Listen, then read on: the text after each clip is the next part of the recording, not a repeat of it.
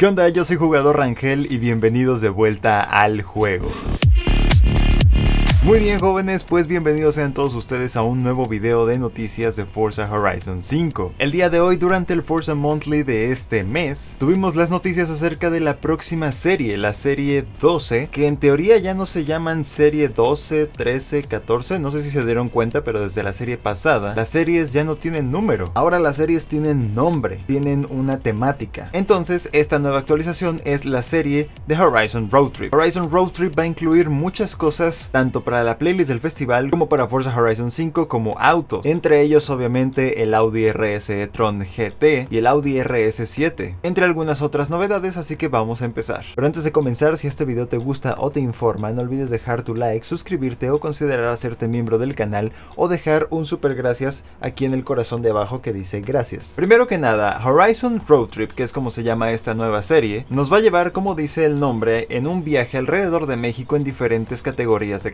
cada semana correremos en diferentes categorías, empezando con Road Racing, continuando con Cross Country, Street Racing y finalizando con Dirt Racing. Como podrán notar, estará enfocado un poco más en campeonatos. Y como pequeña nueva adición, cada semana habrá un campeonato más largo que los demás, es decir, en lugar de tener tres carreras tendrás cinco carreras, lo que hará un poco más interesante los campeonatos ya que serán un poco más de dedicarle tiempo. Hay novedades para la customización de personajes, tal es el caso de la implementación de aparatos auditivos que estarán dentro del juego con diseños personalizados de Forza Horizon 5 o diseños normales. Además se nos dejó ver que tendremos en un futuro un traje de un Dorito. Sí, literalmente este Dorito en forma de piñata el cual nombraron Tanquito Dorito. Bastante extraño, pero lo vamos a tener. Por el momento no sabemos cómo se va a conseguir y honestamente no sé si quiero conseguirlo. Me gusta pero me asusta. Una de las nuevas cosas que van a añadir durante esta serie y que prometí o dejaron ver que va a ser constante es el añadido de dos nuevos body kits. En esta serie tendremos dos nuevos body kits cada uno para diferentes autos. El primero es un body kit para el Hyundai Veloster N de Adro USA,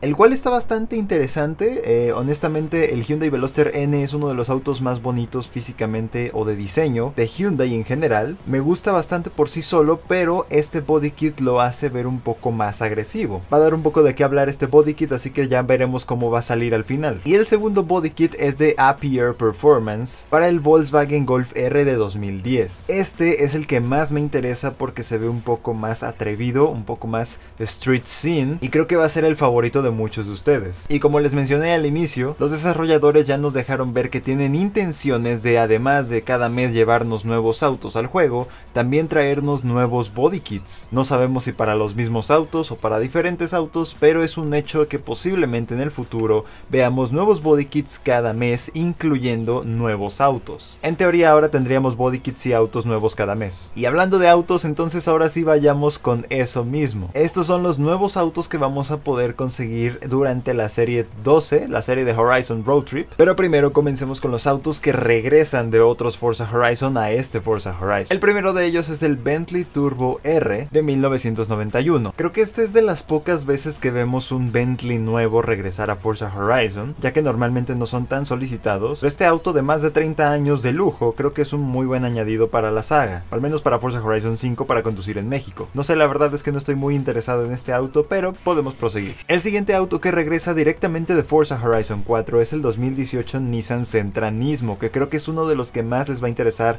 a la mayoría de ustedes, porque es de esos pocos autos que son en teoría autos cotidianos que podrías ver fácilmente en la calle, pero que están de alguna manera en el Forza Horizon 5. Algunos de ustedes ya pudieron conducir este auto en Forza Horizon 4 siempre y cuando hayan tenido el pase de autos de esa entrega. Y si no lo tuviste, entonces esta es tu oportunidad para conseguirlo y probarlo por primera vez. Que la verdad es que es bastante decente para hacer un Nissan Nismo, creo que sí da un poco la talla, pero recuerden que es un Sentra de 2018, así que tampoco esperen la gran cosa. Es algo humilde, algo cotidiano como podríamos ver. Ahora sí vayamos con los autos totalmente nuevos para Forza Horizon 5, que es la primera vez que los vemos en una entrega de Forza Horizon. El primero de ellos es el Link Co 03 Plus, no sé honestamente si ese es el nombre, de 2021, que es técnicamente un auto chino sueco algo por el estilo, y es algo así como una compañía parecida a Volvo. Es un auto bastante humilde por lo que veo, ya que podría decirse que le hace cara un poco al Nissan Centranismo. Hace de 0 a 60 millas por hora en 5.9 segundos aproximadamente, al menos dentro del juego. Así que como podrán ver no es la gran cosa, pero algo que sí añadieron los desarrolladores es que va a tener un body kit para darle un poco más de sazón al auto en el juego y que no se quede en el olvido tan rápido. Así que ya veremos. El siguiente auto es el Audi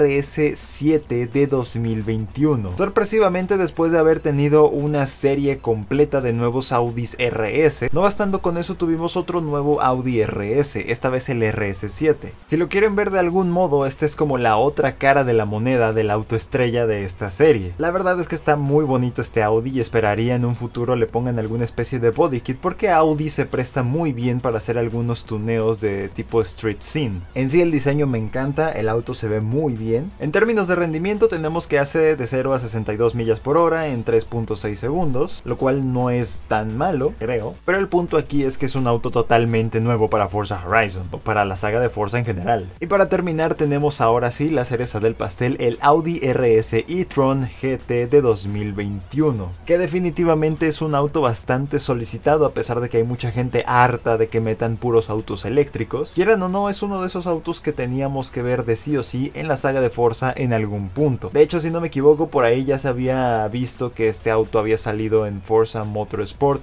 de 2023 durante la presentación del Game Showcase de Xbox y Bethesda. Y en un inicio pensamos que iba a ser exclusivo de esa entrega, pero ya podemos ver que no, esta es la primera vez que lo tenemos en la saga de Forza, Forza Horizon 5. Y en algún punto podrán decir, ¿eso es todo? Lamentablemente sí, eso es todo para la siguiente serie, la serie 12, pero si les soy honesto, siento que se están guardando lo mejor para el final. En este caso no para el final, pero sí para lo que viene. La siguiente serie, técnicamente la serie 13, va a llevar por nombre Horizon 10 Year Anniversary, el aniversario número 10 de Horizon. Ya pasaron o ya van a pasar 10 años desde el primer Forza Horizon de 2012 ubicado en Colorado. Y claro que sí, no lo van a dejar pasar, no lo van a tomar en vano. Siento yo que la siguiente serie va a ser de verdad de las mejores que hayamos tenido hasta la fecha. Empezando por el hecho de que únicamente nos dieron el nombre, sabemos que es el décimo aniversario de Horizon y básicamente eso fue todo lo que nos dijeron sobre la siguiente serie. Todo lo demás es literalmente un misterio. Literalmente, si tú te metes a la serie y ves la imagen, dice que lo que viene son ítems misteriosos. Durante el décimo aniversario de Forza Motorsport, en Forza Motorsport 6 tuvimos autos edición especial de aniversario. Entre ellos obviamente un Viper, un Ferrari Italia, si no me equivoco, un 458 Italia, un Audi creo, y algunos otros autos. Yo me esperaría a lo mejor alguna especie de celebración por el estilo, autos edición especial, en conmemoración, quién sabe qué más, porque la verdad es que con ítem misterioso podemos especular mil y un cosas desde ropa, autos, misiones, campeonatos o un claxon simplemente. Así que técnicamente todo está al aire, no sabemos qué esperar de la siguiente serie, pero eso sí, va a ser totalmente enfocada en el décimo aniversario del Festival Horizon. Así que sí, eso es básicamente todo lo que se viene para Forza Horizon 5 en los próximos meses. Estoy emocionado, pero no precisamente por la siguiente serie, sino por lo que se vaya a venir después, ya que poco a poco siento que después del DLC de Hot Wheels están agarrando un poco más de rueda para traernos contenido aún más increíble. El añadido del Audi RS e-tron es definitivamente una de las mejores cosas, ya que es un auto que se pedía desde mucho antes y es totalmente nuevo para Forza, pero se nota que los desarrolladores no tienen intención de terminar este ritmo y lo único que van a hacer es añadir más y más y más y más cosas, incluyendo autos y posiblemente body kits. Así que nada jóvenes, déjenme saber aquí en los comentarios qué es lo que más les gustó de esta serie o qué es lo que más les emociona que vaya a venir en el futuro o qué quisieran ver en caso de que no haya emocionado nada de lo que pasó en este momento. Los voy a dejar hasta aquí jóvenes, ya se la saben, cuídense mucho, suban de nivel y nos vemos en la otra.